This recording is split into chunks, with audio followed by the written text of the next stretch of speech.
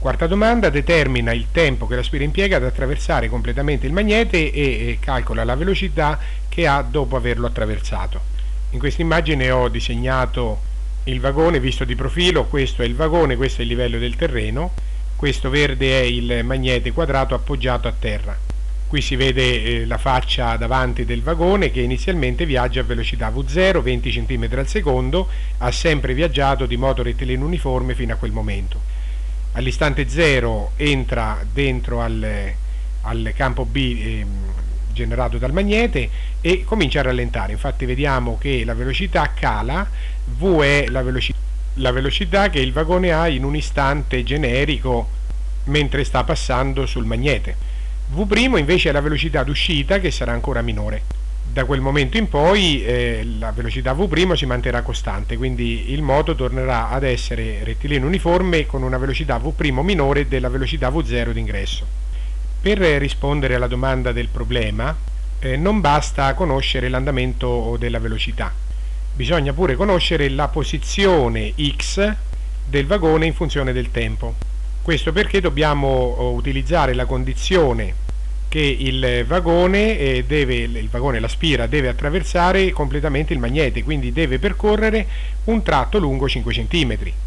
Questa informazione non la possiamo utilizzare con la formula della velocità, ci serve invece l'andamento la, della posizione della spira nel tempo, proprio per metterci poi x uguale a 5 cm, attraversamento completo del magnete.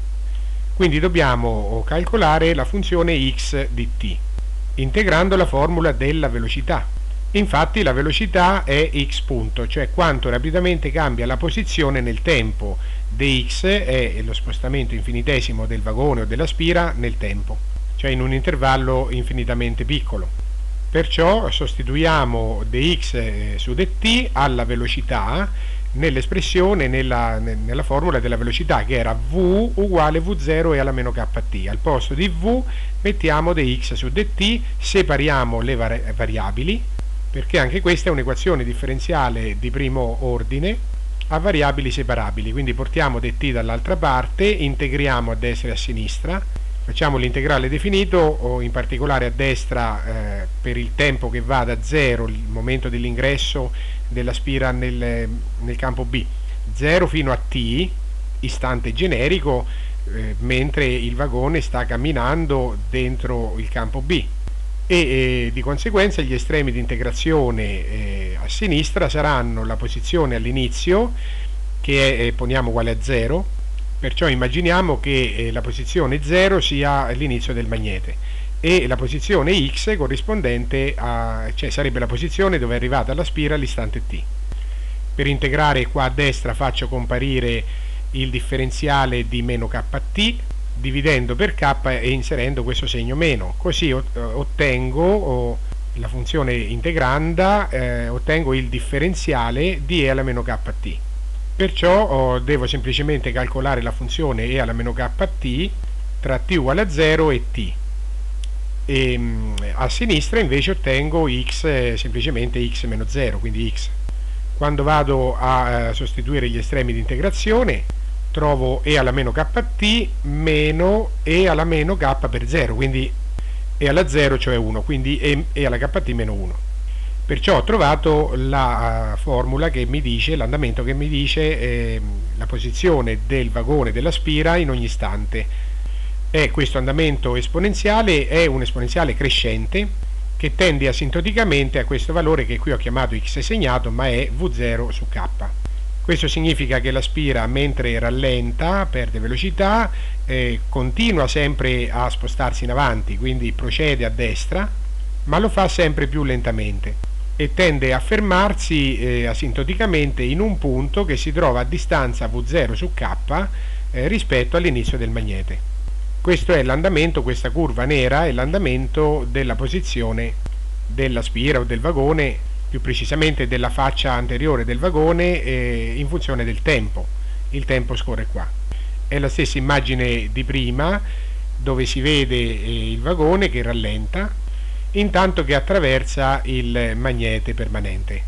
Adesso vado a ruotare questa figura di 90 gradi così che l'asse dei tempi eh, comparirà in orizzontale e invece l'asse che prima compariva in orizzontale, cioè le posizioni, compariranno in verticale.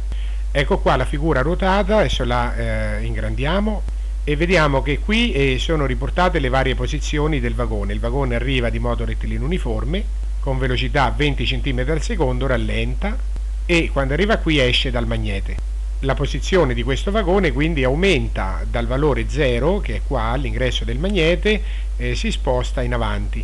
E eh, questo è, questa curva nera è, è l'esponenziale crescente che abbiamo appena ricavato.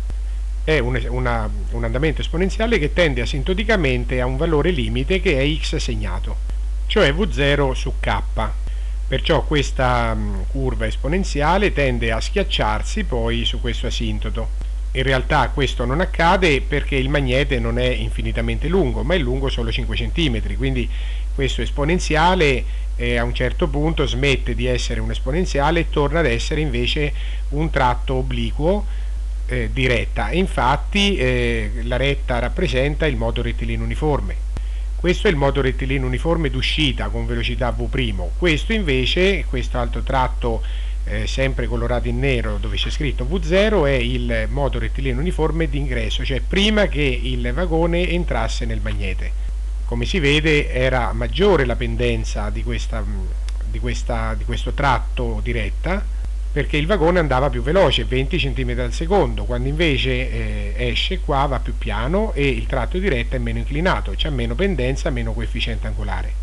Questo x segnato è quindi il, ehm, la posizione limite, cioè il, se il magnete si estendesse fino all'infinito, il vagone non arriverebbe all'infinito, ma eh, rallenterebbe fino praticamente a raggiungere asintoticamente, cioè a fermarsi in questa posizione x segnato in questo modo qua.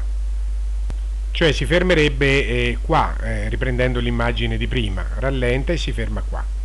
Noi dovevamo rispondere alla domanda a quanto tempo impiega la spira ad attraversare completamente il magnete. Il tempo richiesto è t' cioè il tempo che ci vuole affinché questa posizione che è riportata in verticale raggiunga eh, la fine del magnete cioè raggiunga eh, il valore L perciò il, il vagone avanza e all'istante t' avrà eh, percorso una lunghezza pari a L che è questa. Per ricavare t' dobbiamo quindi porre eh, x uguale a L. X è la posizione raggiunta. Poniamo quindi x uguale a L nella formula eh, che abbiamo trovato prima che ci dà la posizione eh, raggiunta in funzione del tempo. La nostra incognita è t' qui ho usato tau, qua k, ma tanto è la stessa cosa, dobbiamo ricavare t'. Quindi prima isolo eh, e alla meno k t' con eh, semplici passaggi algebrici. Poi passo ai logaritmi, al logaritmo naturale, eh, in modo da tirar giù oh, questa, questa incognita t' che compare all'esponente. Quindi questa è un'equazione esponenziale. A questo punto, oh, eh, applicando i logaritmi, ottengo questa equazione lineare è facile ricavare t' e poi sostituire i valori numerici. K l'avevamo calcolato prima L sono 5 cm sarebbe lo spazio percorso dal vagone x uguale L e V0 era 20 cm al secondo quindi il risultato è circa 0,33 secondi. Questo è il tempo che impiega la spira a, a, ad attraversare tutto il magnete e questo tempo serve a calcolare la velocità d'uscita infatti adesso andiamo a sostituire questo tempo t' dentro la formula della velocità che era questo andamento esponenziale decrescente. Quindi al posto di eh, t mettiamo eh, questo valore qua, questi secondi che è il tempo d'uscita o meglio il tempo di attraversamento del magnete. Sostituendo i valori otteniamo circa 11 cm al secondo vuol dire che eh, il vagone è entrato con 20 cm al secondo ed esce con 11 cm al secondo. È la situazione descritta prima, il vagone entra con 20 cm al secondo, rallenta, intanto continua a spostarsi sulla destra, quindi attraversa tutto il magnete, eh, percorre 5 cm, alla fine dei 5 cm percorsi sono passati circa 0,333 secondi e la velocità è diminuita a 11 eh, cm al secondo.